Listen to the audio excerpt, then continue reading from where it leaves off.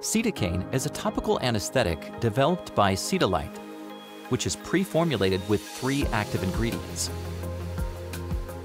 Its particular composition is based on three different anesthetic molecules of the ester class.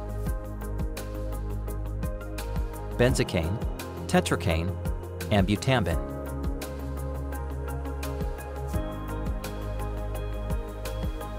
Thanks to its unique combination, Cetacaine has an ultra-rapid onset and an extended duration. Its main application in dentistry is to suppress patients' discomfort during periodontal procedures, such as scaling and root planing.